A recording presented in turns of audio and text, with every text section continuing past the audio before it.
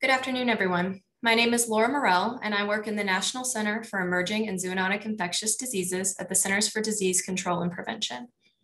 On behalf of the One Health Office, I'm pleased to welcome you to the monthly Zoonoses and One Health Updates call on April 7th, 2021. Next slide, please. Although the content of this webinar is directed to veterinarians, physicians, epidemiologists, and related public health professionals in federal, state, and local positions, CDC has no control over who participates. Therefore, please exercise discretion on sensitive content and material as confidentiality cannot be guaranteed. Today's webinar is being recorded. If you have any objections, you may disconnect now. Next slide. Today's presentations will address one or more of the following five objectives. Describe two key points from each presentation.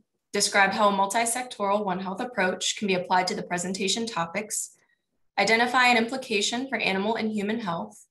Identify a One Health approach strategy for prevention, detection, or response to public health threats. And identify two new resources from CDC partners. Next slide.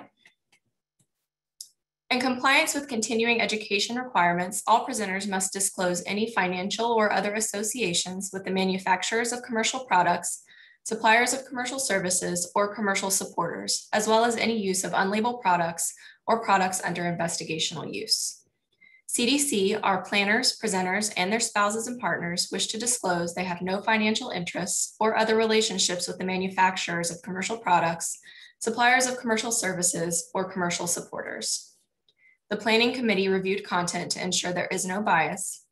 The presentations will not include any discussion of the unlabeled use of a product or a product under investigational use. CDC did not accept commercial support for this activity. Next slide. Instructions for receiving free continuing education are available at cdc.gov slash onehealth slash zohu slash continuing education. The course access code is OneHealth 2021. To receive free CE for today's webcast, complete the evaluation at cdc.gov slash TCE online by May 10th, 2021. A captioned video of today's webinar will be posted at cdc.gov slash onehealth slash zohu slash 2021 slash april.html within 30 days. To receive free CE for the web on demand video of today's webinar, complete the evaluation at cdc.gov slash TCE online by May 11th, 2023. Next slide, please. Before we begin today's presentations, Dr. Colin Basler, Deputy Director of CDC's One Health Office, will share some news and updates. Please begin when you're ready. Thanks, Laura. Hi, everyone. Thank you for joining us on today's Zohu call. We appreciate your help in spreading the word about the Zohu call by sharing the website link with your colleagues from human, animal, plant, environment, and other relevant health sectors. Before our presentations, I'd like to share a few One Health COVID-19 updates and some highlights from today's Zohu call email newsletter. If you're not yet subscribed, please use the link at the top of the main Zohu call webpage so you can stay informed. CDC's response to COVID-19 outbreak continues to evolve. Please check CDC's website for the latest guidance and resources, including information about keeping people as well as pets and other animals safe and healthy. We also hold a monthly One Health Partners COVID-19 webinar to provide news, key updates, guidance, and resources for public health officials, animal health officials, veterinarians, and pet owners.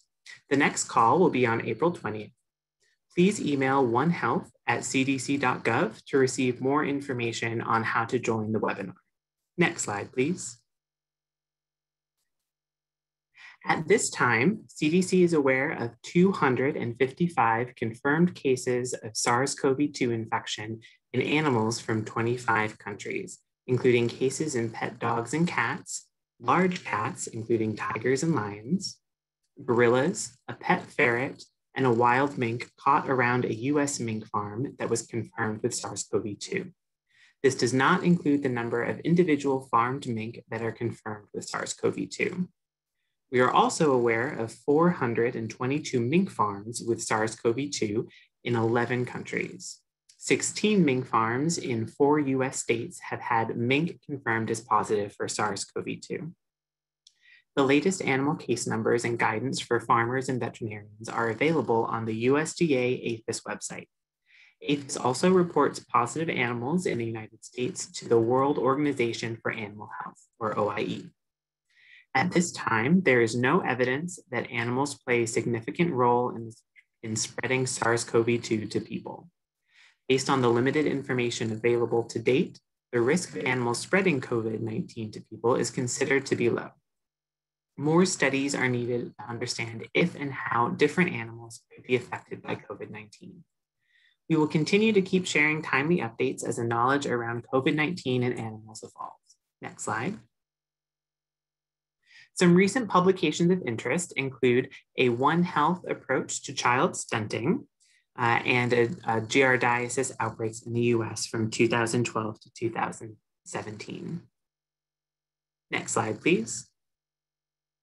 Some new web uh, resources of interest include the uh, fact that the OIE has launched an update to the World Animal Health Information System uh, to support country, and the system is utilized to support countries in maintaining global transparency and reporting matters of animal and public health.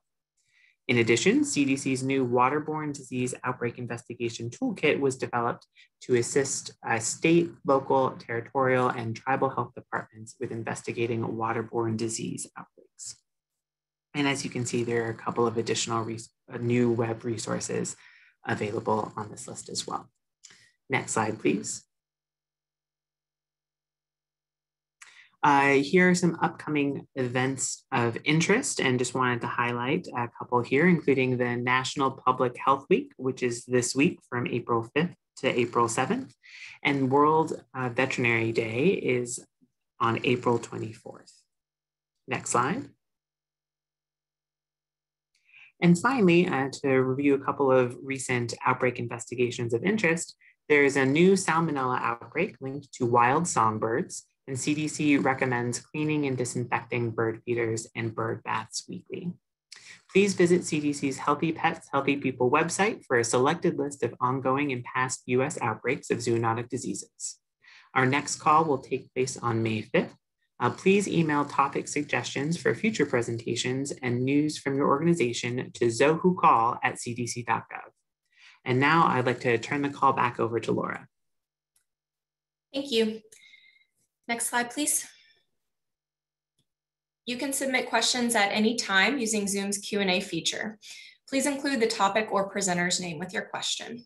The Q&A session will follow the final presentation if time permits. You can also email questions to today's presenters. We've included their email addresses on this slide on the Zohu Call webpage for today's webinar and in today's email newsletter. Next slide, please. Our first presentation, Investigation of Severe Outcomes of SARS-CoV-2 Infection in Companion Animals is by Dr. Ann Carpenter. Please begin when you're ready. Thank you, Laura, and good afternoon, everyone. It's my pleasure to discuss with you today an investigation of severe outcomes of SARS-CoV-2 infection in companion animals. Today, we'll walk through a case series of 10 companion animals confirmed positive for SARS-CoV-2 infection. Next slide, please. To begin, I'd like to define what we mean by severe outcomes in companion animals. Companion animals in this presentation refers to dogs and cats. Severe outcomes refers to cases where animals with SARS-CoV-2 died or were euthanized. Next slide, please. To date, 124 companion animals 75 cats and 49 dogs have been confirmed to be infected with SARS CoV 2 in the US. Of these cases, 52 animals, or about 41%, do not show any signs of illness, while 56 animals, or 44%, show clinical signs. We don't have data on signs of disease for 19 animals, or about 15%. In animals that do show signs of illness, most are respiratory, shown in blue on the graph on the bottom, which include coughing, sneezing, shortness of breath, and nasal or ocular discharge. Fewer animals show nonspecific signs like lethargy and inappetence, and even fewer animals show gastrointestinal signs like vomiting and diarrhea. Those animals are represented in orange on the graph. Next slide, please. This case series will focus on a specific time frame from March 2020 to January 2021. During that time, 94 companion animals tested positive for SARS CoV 2 in the US. Of these confirmed cases, 10 animals, or 11%, died or were euthanized. The purpose of this presentation is to walk through the algorithm that was developed to investigate what role, if any, SARS CoV 2 played in the animal's clinical signs, course of disease, and death or euthanasia. Next slide, please. Of these 10 animals with severe outcomes, five were dogs and five were cats. The mean age was approximately eight years and ranged from three to 16 years. Nine animals were male and one was female. They were located in 10 different states and all lived in households with human COVID 19 cases. Next slide, please. I know that many of you are familiar with the concept of One Health but the COVID 19 pandemic has highlighted that this concept of a multidisciplinary effort to coordinate and collaborate across sectors to work to protect human, animal, and environmental health is critical to achieve the best health outcomes possible for people, animals, plants, and our shared environment. Many partners were involved in the One Health investigations of these cases. Next slide, please. This slide describes the investigation process of animals presumed or confirmed to be infected with SARS-CoV-2. As you can see, many different partners are involved, from veterinarians treating the animals to state and local animal and public health officials, laboratories performing presumptive and confirmatory testing, and federal partners. All confirmed cases of SARS-CoV-2 in animals are reported to the World Organization for Animal Health, or OIE. Next slide, please. to help support our state and local partners in their investigations of presumptive and confirmed animals. The CDC One Health Working Group has created and shared a toolkit to help prepare for and manage animal cases. In addition, we created a standardized data collection tool, the Case Investigation Form, to help direct and supplement epidemiological investigations. These forms collect information on signalment, history, epidemiologic data, and testing information, including sample collection, timeline, and any confirmatory results. Next slide, please. Because SARS-CoV-2 is a new emerging disease and the spectrum of disease is not well characterized in companion animals with natural infection, we realized that it was of the utmost importance to learn as much as possible from each of these animal cases, particularly those with severe outcomes. All 10 severe outcomes cases had comorbid conditions, and federal partners collaborated to create the SARS-CoV-2 supplemental necropsy sample inventory checklist to help guide necropsies, shown here. In cases where either a necropsy was performed and or postmortem tissue samples were collected, CDC's infectious diseases pathology branch received tissue samples to conduct further testing. This included histologic evaluation and special staining for the virus and other pathogens. Next slide, please. Next slide, please. To help evaluate the role of SARS-CoV-2 in the course of illness, the CDC One Health Working Group created an algorithm, shown here. This flowchart uses information on clinical signs, comorbidities or concurrent disease, the presence of virus in critical organs, the brain, heart, and lungs, and histologic evaluation of tissues to determine if SARS-CoV-2 infection was an, inc an incidental finding, contributing factor, or the primary reason for the animal's death or euthanasia. Over the next few slides, I'll walk through the steps of this algorithm with the 10 cases with severe outcomes. Next slide, please. Our first step in the algorithm was to evaluate if clinical signs that were appreciated were consistent with SARS-CoV-2 infection. From our other case investigations shown previously, we know that the most common clinical signs in animals infected with SARS-CoV-2 are respiratory and gastrointestinal. These are also described in the CDC evaluation for SARS-CoV-2 testing in animals. We found that the 10 animals with severe outcomes had variable clinical signs and not all of them fit into our guidance for testing. Three animals had neurologic signs, two had nonspecific signs like lethargy and inappetence, one animal was vocalizing and posturing to urinate, and seven animals showed respiratory signs. As you can see, these numbers do not add up to 10 because several of the animals had multiple types of clinical signs. Next slide, please. Our next step was to evaluate for any comorbidities and to determine if there were other disease processes present that caused the clinical signs or severe disease. The case investigations, which we described earlier, collected information on antemortem di diagnostics and postmortem evaluation, like necropsies. From these investigations, we learned that all 10 cases had comorbidities, and most of these were severe, these comorbid conditions included hemic and pituitary neoplasia or cancer, bacterial pneumonia, meningitis, hypertrophic cardiomyopathy, which is a type of heart disease, suspect disc disease or spinal neoplasia, and urinary obstruction. Next slide, please.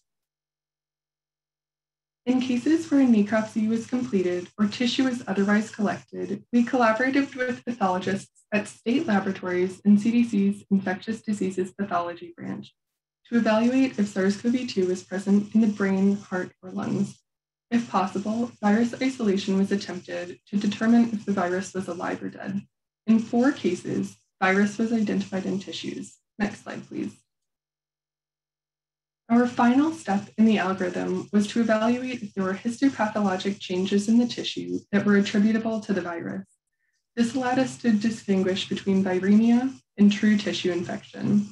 Through collaboration with pathologists, we learned that these changes were present in three cases.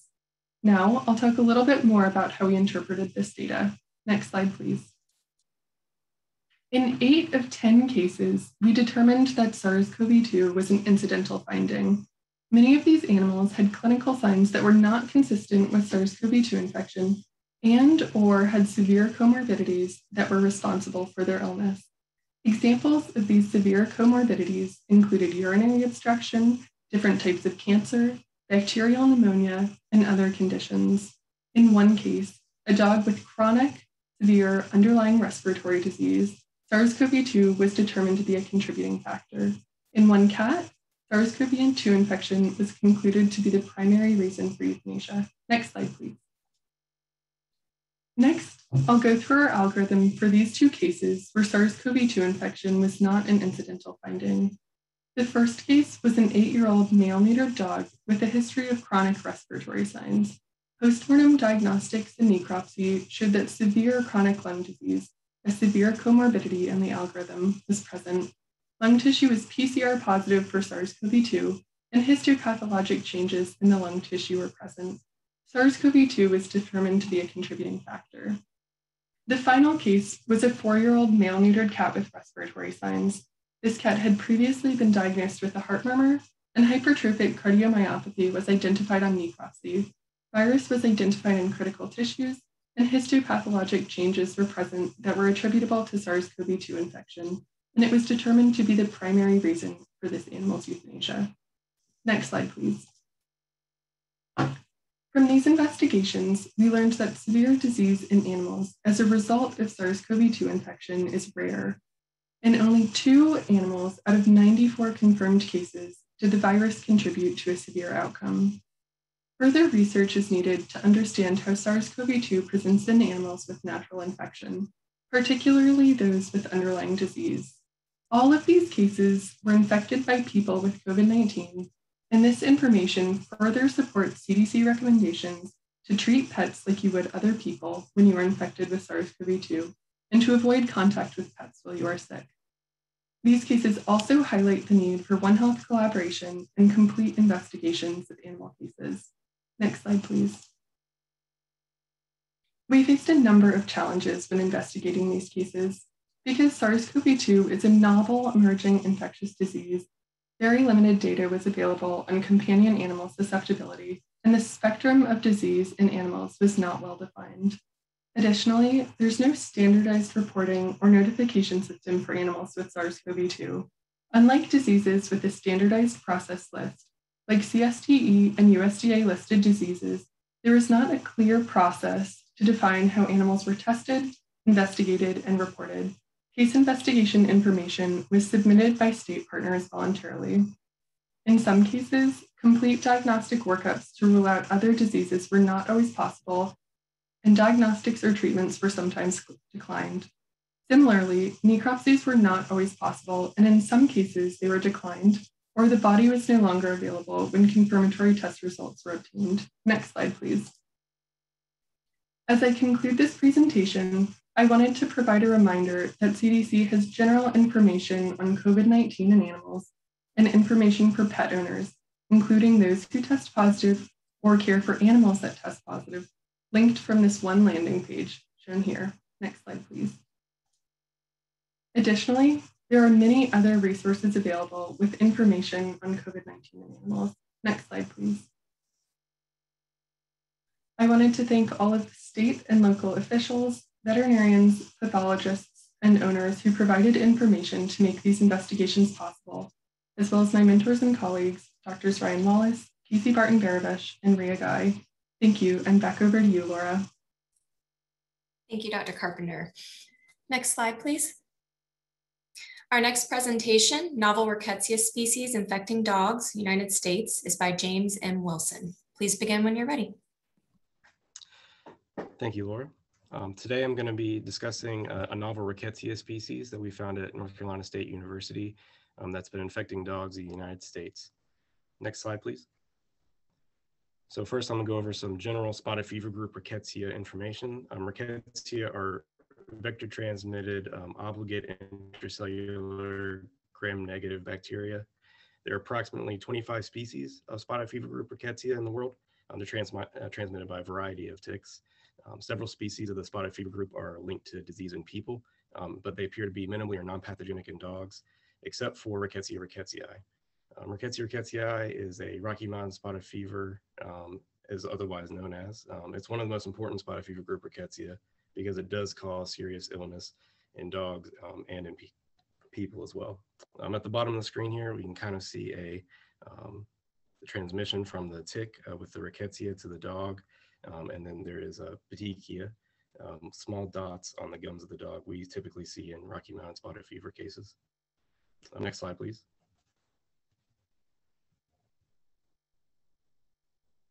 Uh, next slide. Thank you the novel rickettsia in dogs. So everything I'm going to go over here, uh, detection, the phylogenetic analysis, the cases that were outlined um, in the EID dispatch published um, in infectious disease, um, some new cases we've had since that dispatch, um, and then some further ongoing research um, that we're going to be using. Uh, next slide, please.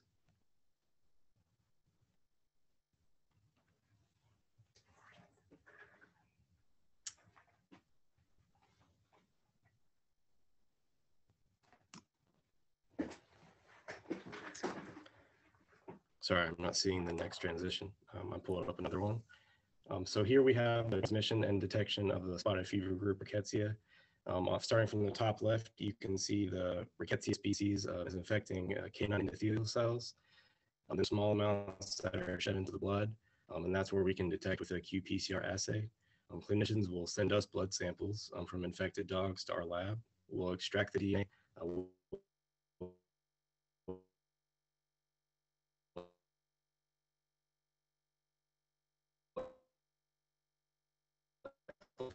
gene target, and then we'll also sequence that target. And we use the 23S5S region for that.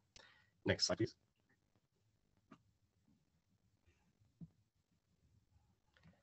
Um, so here we can see a, a phylogenetic analysis that uh, we made for this um, novel rickettsia. Uh, first, we started with the screening target, the 23S5S. Um, we found that it was 95% identical to group rickettsia. Uh, typically, we would uh, expect to see 100% match um, for this particular gene. Um, so once we figured out that there wasn't an exact match for this group rickettsia, um, we then targeted four other um, gene targets and we concatenated that into a um, concatenation and we created a phylogenetic tree using the maximum likelihood and Tamara name model. Um, and on the right side, you can see the phylogenetic tree. Um, the rickettsia, the novel rickettsia species is centered right in the middle of all these other spotted fever group rickettsia surrounding it. you can see that there is a common ancestor um, between that novel rickettsia and the rickettsia below. Uh, next slide, please. So there were a few clinical findings in the cases that were outlined in the uh, EID dispatch. Um, these first three cases all had the uh, fever and lower platelets. Um, these are typically seen in um, Rocky Mountain spotted fever cases. Um, so it's uh, notable just because right now the only other um, spotted fever group rickettsia we know that causes disease in canines or dogs, excuse me, um, are also are just from Rocky Mountain fever. So this novel rickettsia could possibly be causing um, these clinical signs. Next slide. Oh, as far as uh, rickettsia diagnostic testing, um, all three cases tested positive for the novel rickettsia with PCR testing. Um, all three also had a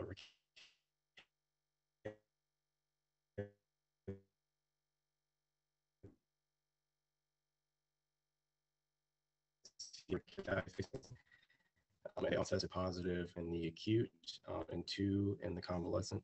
Um, Mountain fever uh, is the IFA for that's typically um, does cross react with other spotted fever rickettsia and uh, the IFA um, for the rickettsia rickettsii. Next slide, please. As far as treatment and outcomes, um, for all three cases, uh, they were treated with doxycycline. Um, the first cases, the abnormalities resolved the dogs, but unfortunately, on the third case, um, the patient was euthanized. There was also um, concurrent diagnosis of uh, IMHA and PLN for that. Uh, next slide. So for the timeline and uh, the 2020 cases, um, there were seven cases total. Um, the first three cases were outlined in emerging infectious disease. Um, they're listed there. All of the cases, um, yeah, we have a travel history for three cases. All the case uh, states are laid out there. I'll be talking more about that on the next slide. Um, all seven of these cases uh, had the presence of ticks on the dogs, except for case number six. Um, all seven cases were PCR positive as well as IFA positive. All seven cases had a fever, um, except for number, uh, and all seven had uh, lower platelets, except for number four. Um, there were not lower platelets in that dog. Um, there are also a few other co-infections that occurred for these dogs, um, and they're listed there as well. As far as the timeline goes, uh, we've had seven cases total, one case in 2018, two cases in 2019, and 2020. Um, this is using our same as 2014.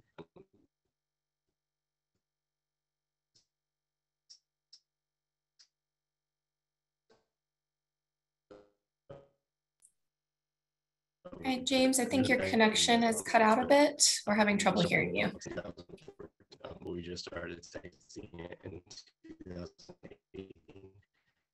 We've been getting more cases every year since then. We have no cases this year, but we haven't hit that somewhere. James, I think your Oh, would you like to start from the top of the slide? Can you, uh, can you hear me now? All right, yes, I hear you a little bit better now. Okay, would you let me start start from the top of that slide? Yeah, that might be a good idea. Okay, so we had seven cases uh, total. Um, all seven of the cases uh, tested uh, positive for PCR and IFA. All seven of the dogs, except for case number six, had the presence of ticks. Um, as far as the state goes, I'll be discussing that more in the next slide. Um, there were three cases of travel history uh, with three of these animals. Um, as far as the clinical commonalities, all seven of the cases had a fever, um, but case number four did not have lower platelets, um, but there were lower platelets in the rest of the cases. There was also um, three uh, signs of co-infection for three of the animals listed here. as far as the timeline goes, we have had seven total cases. Um, the first case in 2018, um, the second two cases in 2019, and four cases in 2020. Um, this is significant because uh, we've been testing the same assay since 2014. Um, we've just now started detecting um, this rickettsia in 2018. Um, so it is likely that this is an uh, emerging disease because we should have been detecting this since 2014. next slide, please. So as far as the geographic location of the cases, uh, we had three animals with a travel history, uh, one from um, Colorado to uh, both Minnesota and Wisconsin, one from Texas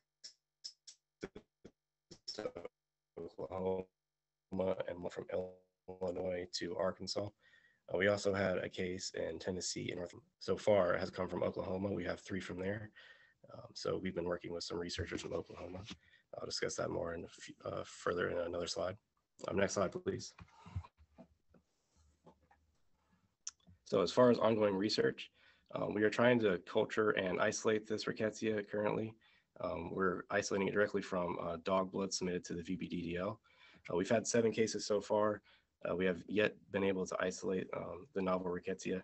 Um, this just speaks to how difficult it can be to isolate um, this kind of intracellular bacteria from a sample that's been uh, drawn from a, a, dog, sent to us, and then tested. It's been sitting in the fridge, um, so it can be difficult to isolate after it's been the sample's been sitting for so long.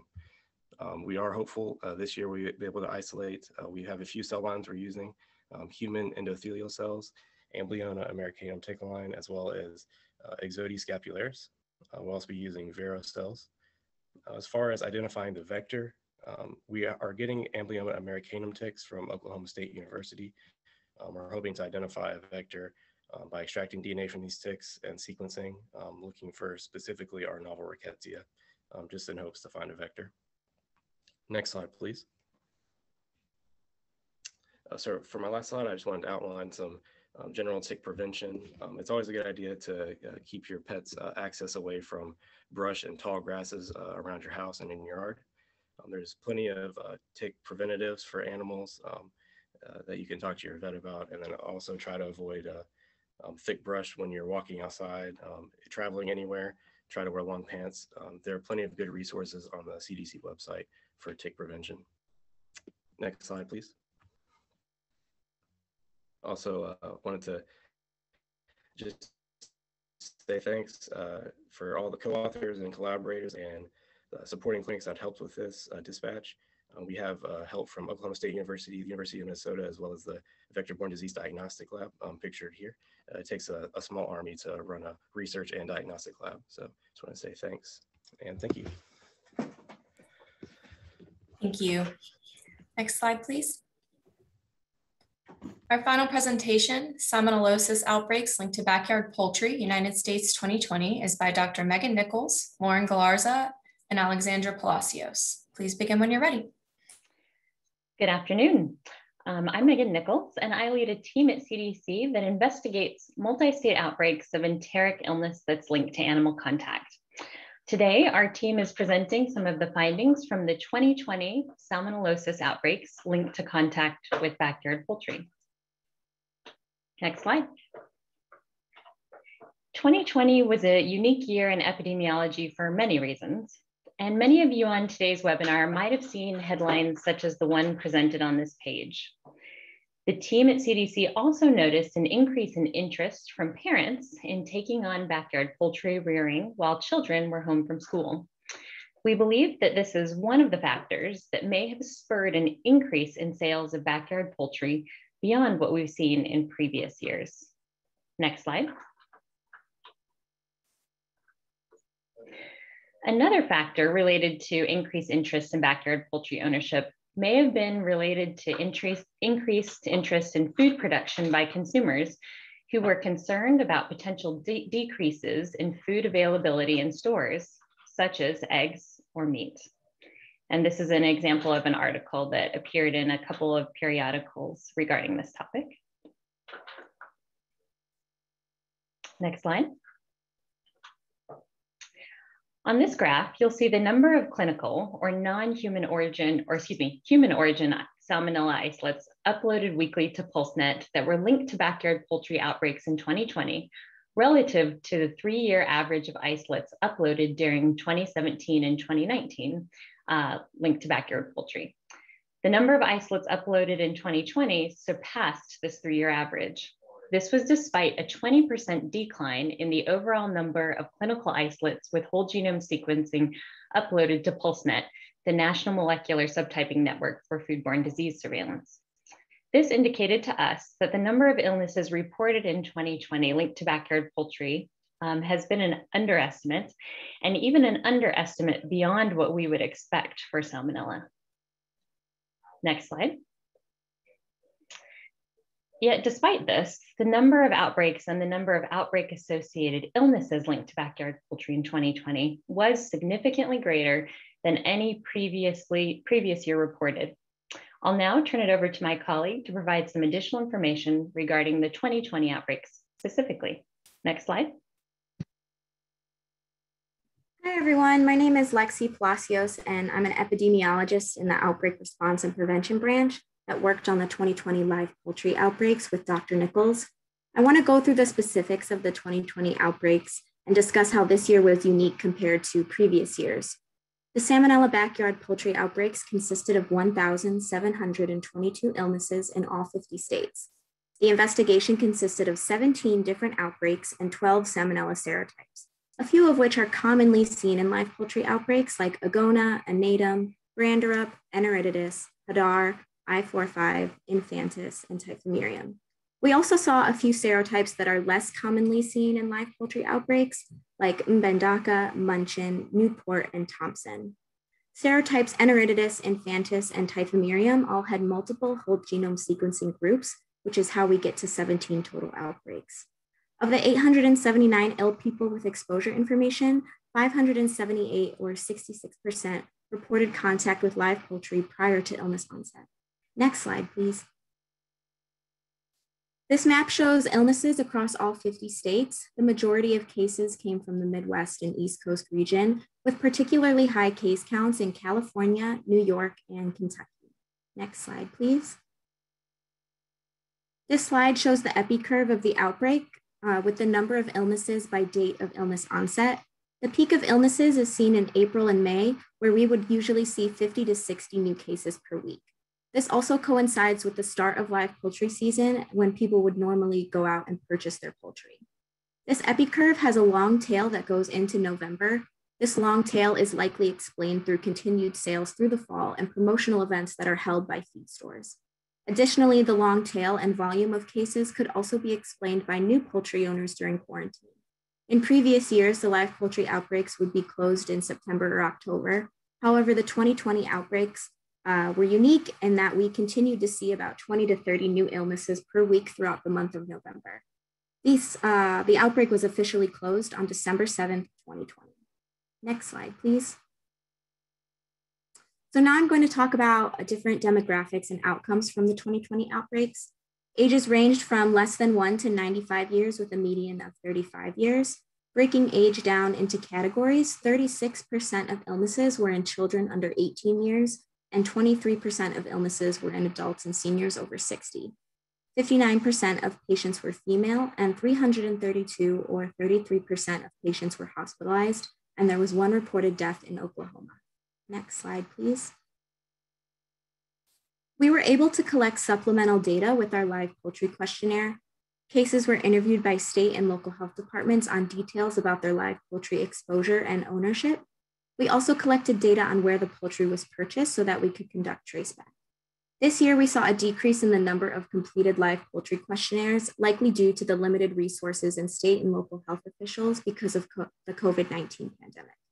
In previous years, we were able to collect around four to 500 supplemental questionnaires, and this year we were only able to collect 266.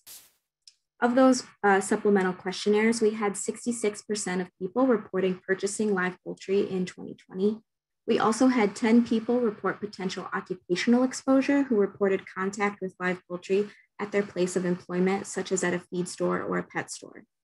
68% of cases reported only owning live poultry for less than six months, while 74% reported owning live poultry for less than one year.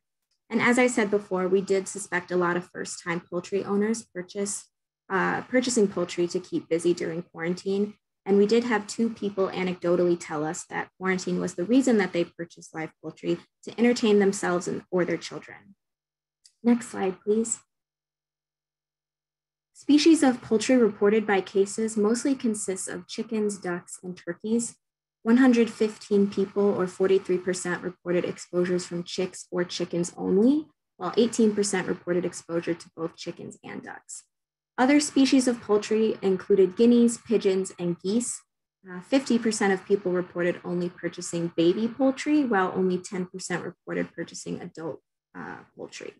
And interestingly, 65 people or 26% reported keeping their poultry indoors or inside their homes. Um, so in conclusion, outbreaks linked to backyard poultry are expected by the enteric zoonoses team every year. However, the 2020 outbreaks of salmonella linked to backyard poultry was the largest outbreak ever reported. Additionally, these illnesses spanned over 12 months and spread across all 50 states. Although these outbreaks were the largest that we've seen, the COVID 19 pandemic created limited resources for federal, state, and local partners, leaving the data and questionnaires less accessible to us. With these final thoughts, I'll turn it over to Lauren Galarza to discuss why these outbreaks are getting larger and what is being done to prevent illnesses in the future. Thank you. Thanks, Lexi. Hi, I'm Lauren Galarza, and I work in the Outbreak Response and Prevention branch with Megan and Lexi. Next slide, please. Things that we've been asking ourselves is, you know, why are these outbreaks getting larger? And one potential hypothesis there, as you heard uh, Megan and Lexi mention earlier, is that we've seen such an increased um, interest in owning backyard poultry, and we've heard that there's been an increase in demand from the backyard poultry industry itself as well, especially this past year. Next slide. One other thing we know, um, both from our backyard poultry outbreak data that we've collected in previous years and from looking at, at different sources such as social media, some of the images that you see here, is that people sometimes tend to engage in what we would consider riskier behaviors um, in terms of salmonella transmission. So these birds can carry salmonella while looking healthy and clean. Um, and so bringing them into you know, homes and into kitchen sinks, uh, areas where you work, or having them climb, you know, on uh, children's toys could potentially be contaminating um, those surfaces. So even though someone may recognize that they need to wash their hands after touching the bird themselves, they may forget about some of those other surfaces that could have become contaminated. Next slide. So one thing that we, we try to do um, during all of these outbreak investigations is really use a One Health approach to our collaboration. And you can see some of the folks that we collaborate with on this slide. And it really takes all of us working together to, to try to reduce human illness. So we work with the hatcheries who raise these animals to try to reduce the amount of salmonella that's in those birds. Um, and also work with them and others to get our educational materials out. Next slide.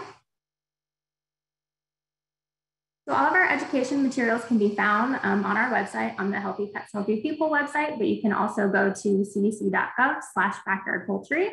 And I did want to highlight two of them here. So on the left, we have a graphic that's a reminder to wash your hands after handling live poultry. And it can actually be printed as a sticker and put on um, backyard poultry shipping boxes or even on the uh, chick boxes that people can uh, bring home when they purchase backyard poultry. And then on the right, we have a newer graphic that highlights um, this increase in illnesses and outbreaks over time, as well as a few uh, quick prevention tips. Next slide. So one other thing that, that we're excited and, and hope we'll get some final approvals and get to start is that we're actually looking at doing some focus groups with backyard poultry owners.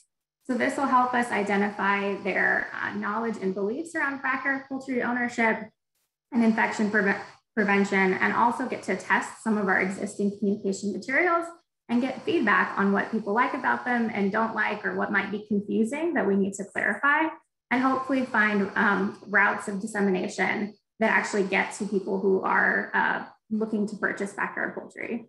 So with that, I'll turn it back to Megan.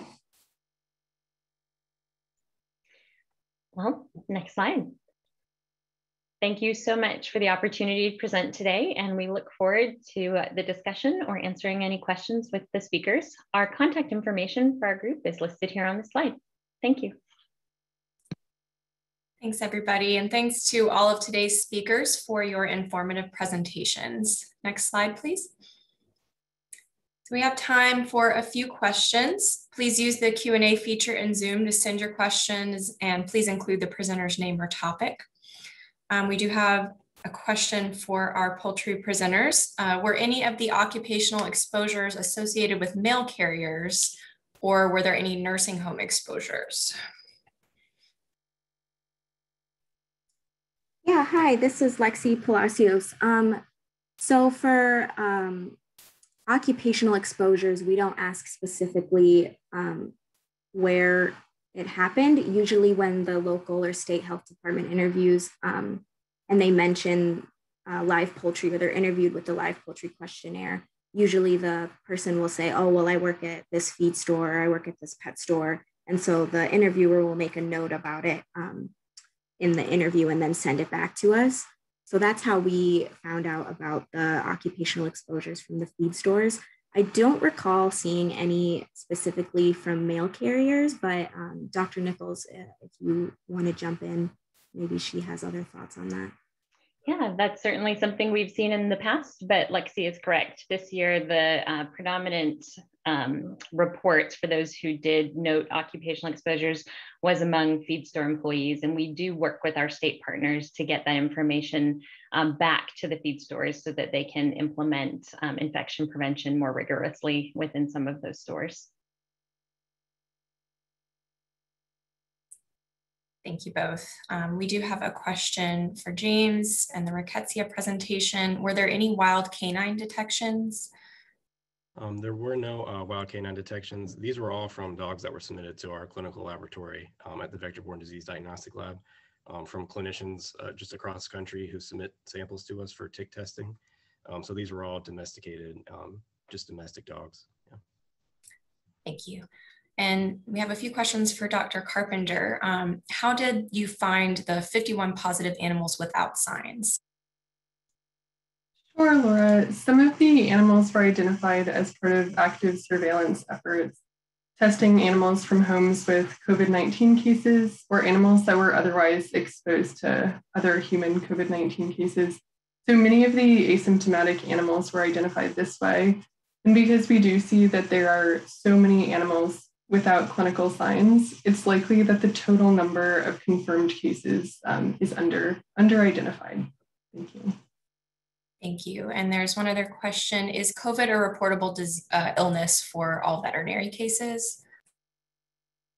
Infection with SARS-CoV-2 in any animal species meets the World Organization for Animal Health, or OIE, definition of an emerging disease. Um, therefore, the OIE expects member countries, including the US, to report confirmed positive infections with SARS-CoV-2 in any species. However, it is not notifiable to CDC or USDA. Thank you. And there is a um, question for Lexi. Uh, can you share anything about the wording of the questions about cases keeping poultry indoors? Was that during the chick stage only or also adult poultry? Yeah. Hi, so I actually pulled up the questionnaire so I could give you the exact wording. Um, it does say where are the poultry kept, check all that apply, and then the options are indoors, outdoors, and then other. So usually we just get the basic indoor versus outdoor. And then in the comments of the live poultry questionnaire, um, the interviewer will usually um, give details like uh, poultry was kept inside in the, in the patient's bathroom or poultry was kept inside, but in an outdoor chicken coop sort of thing. Um, but usually we don't get information on what stage the poultry is kept inside or how long the poultry is kept inside. We just get that basic question, and then sometimes there's additional information in the comments. Thank you. And another one on the Rickettsia presentation. Um, can you please provide more information about the Rickettsia species um, and also what species of ticks were identified on the infected dogs, if you could share that. Um, so the, the ticks, uh, we actually don't have a species for those ticks. Uh, they were mostly um, just a retrospective study. So the clinicians took notes, um, noted that the, either the owners or the clinician, they found ticks on the dogs. Um, they didn't specify the ticks or save any for us. Um, so fortunately, we don't have a, a species for those. Thank you. Um, and back to Dr. Carpenter, did any of the eight pets uh, that SARS-CoV-2 was determined to be incidental in have virus detected in tissues? Yes, they did. There was virus identified in the upper respiratory tract of at least one animal, um, but this was um, did not contribute to the severe outcome, although likely contributed to um, some of the upper respiratory signs. Thanks. And another question for you regarding the 10 animals investigated for severe outcomes. Is there any breed information available? Was a certain breed identified more often?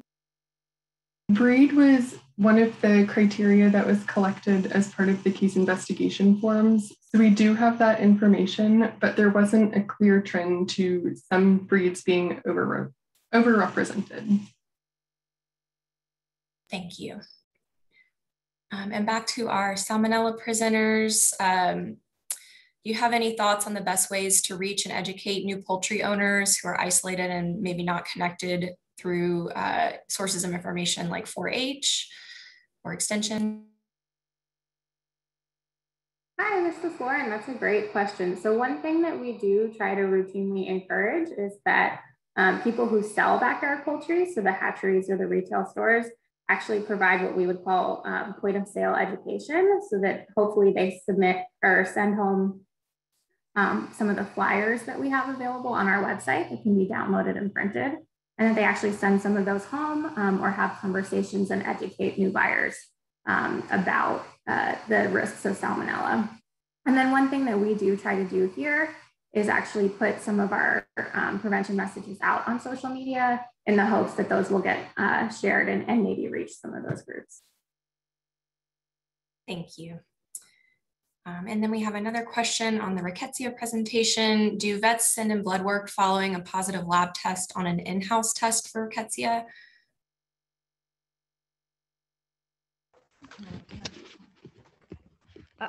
Uh, hi, this is Dr. Carollo. I'm um, James's advisor. Um, so um, yes, so for sending in a test to the VBDL, if you suspect vector-borne disease, um, we would, you know, we can do the rickettsia um, PCR, which is general for all rickettsia, and then we can sequence and identify the species. Um, and then the IFA is really for rickettsia rickettsii, but cross-reacts with other spotted fever group rickettsia. Um, I'm not sure the other part of the question was, are there in-house testing for rickettsia? Was that one of the questions? I believe it was just asking uh, based on in-house tests. Okay. Oh, so if if the the veterinarian suspects a rickettsia. Correct. Yeah. Yes. Thank you.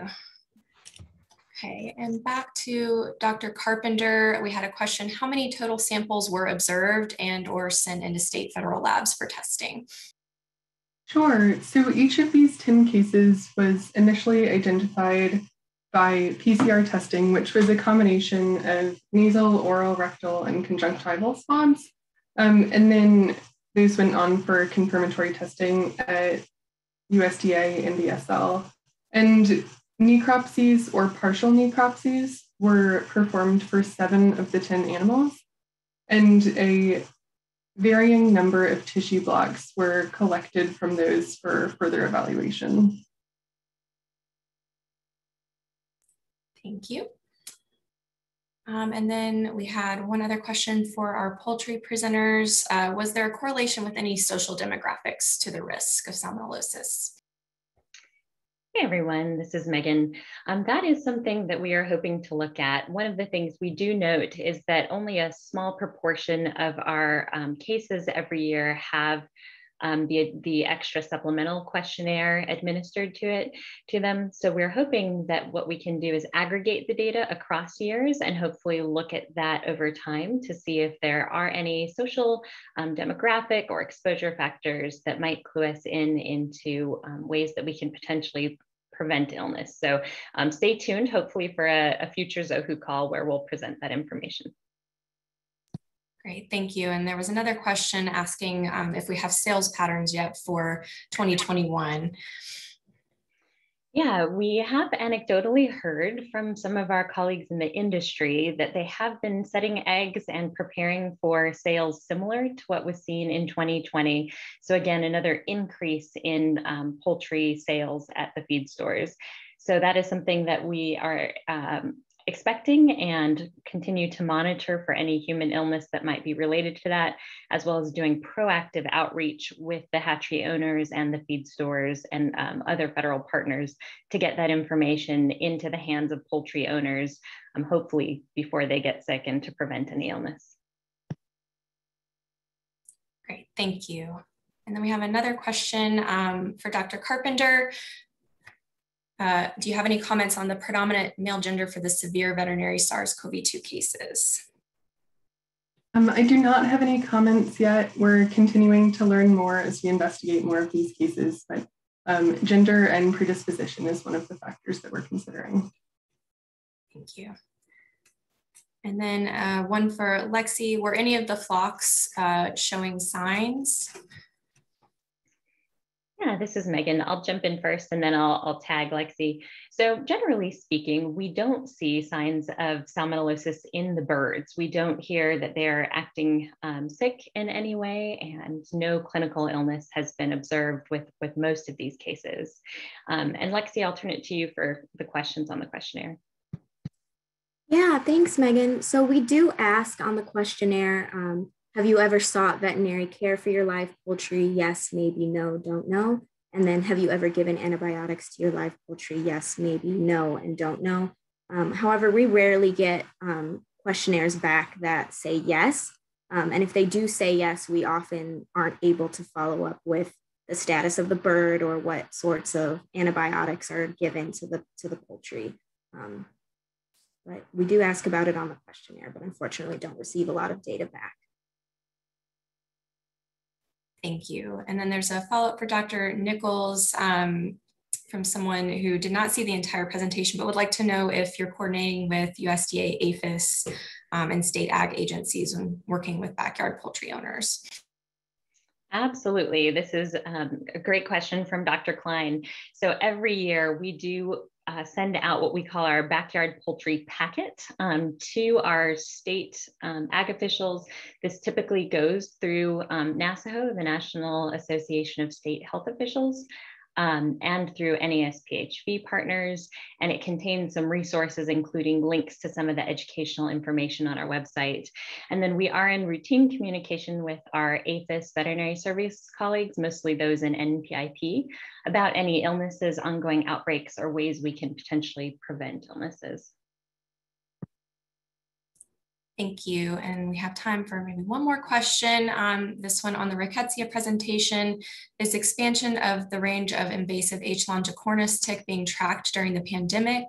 Um, and is it anticipated that it could be an additional vector for this novel rickettsial disease and Rocky Mountain spotted fever?